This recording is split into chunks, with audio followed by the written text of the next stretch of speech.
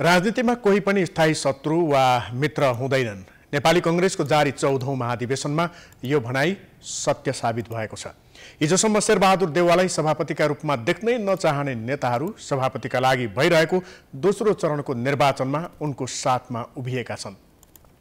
प्रकाशमान सिंह विमलेन्द्र निधि र कल्याण गुरुङको सहयोगसँगै देउवा दोस्रो पटक सभापति चुनिने सङ्घारमा छन् भने शेखर कोइराला सभापतिको दौडमा पछाडिने कङ्ग्रेसमा कोइराला विरासतको पहिलो सदस्य बन्दैछन्। एक रिपोर्ट। नेपाली कङ्ग्रेसको जारी चौधौँ महाधिवेशनमा सभापतिका प्रत्याशी शेखर कोइरालाको चाहना चुनावी प्रक्रिया दोस्रो चरणमा पुगोस् भन्ने थियो। पहिलो चरणमा नै जित हात पार्ने रणनीतिमा रहेका शेरबहादुर देउबा मात्र बयासी मतका कारण दोस्रो चरणको चुनावी प्रक्रिया स्वीकार्न बाध्य भए। पहिलो चरणको नतिजा सार्वजनिक भए लगतै धेरैले अनुमान गरेका थिए नेपाली कङ्ग्रेसमा फेरि कोइराला विरासत फर्किँदैछ।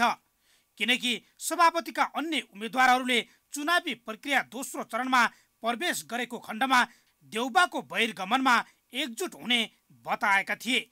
चुनाव अगाडि सबैको एउटै नारा थियो देउबाबाट पार्टी र सरकार चल्न सक्दैन भन्ने। राजनीति सिधा होइन वक्र रेखामा चल्छ भन्ने भनाइ त्यो बेला सत्य साबित भयो जब पहिलो चरणमा तेस्रो धेरै मत ल्याएका प्रकाशमान सिंहले देउबालाई समर्थन जनाउने कुरा सार्वजनिक गरे। साथीहरूसँग पनि मैले चाहिँ वान टु वान प्राय जसो सबैसँग चाहिँ मैले कन्सल्ट गरेको छु र म चाहिँ खास गरेर यो चाहिँ आउने चाहिँ सेकेन्ड राउन्डको उसमा शेरबहादुरजीको पक्षमा चाहिँ मत दिनुको लागि मैले अनुरोध गरेको छु।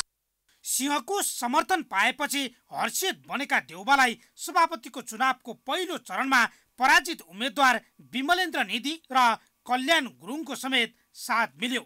त्यही कारण हिजोसम्म देउबालाई जसरी भए पनि सभापतिमा दोहोरिन दिनु हुँदैन भन्ने नेताहरूले नै यो मिलनलाई सुखद मानेका छन्। सुखद क्षण छ।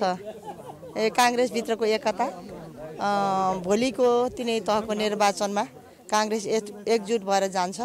सहमति सहकार्य र एकता काङ्ग्रेस जुन आवश्यकता भन्ने मूल मन्त्र आज साबित भएको छ। हामी खुसी छौँ।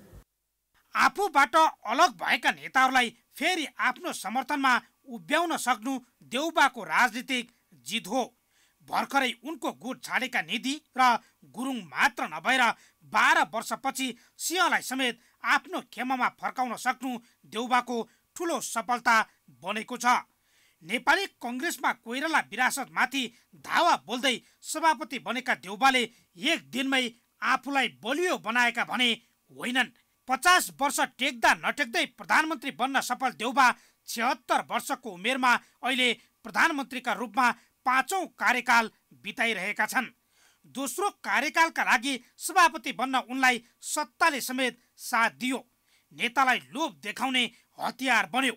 पार्टीमा सधैँ आफ्नो विरोध गर्दै आएका वरिष्ठ नेता रामचन्द्र पौडेल सहित महामन्त्री शशाङ्क कोइराला समेत शेखरको समर्थनमा मौन बस्न लगाएर देउबाले राजनीतिक चतुर्याई पनि देखाएका छन् जसले गर्दा पार्टी र सत्ताको मोर्चामा सधैँ असफल देखिने देउबा राजनीतिको मैदानमा भने माहिर खेलाडी साबित भएका छन्।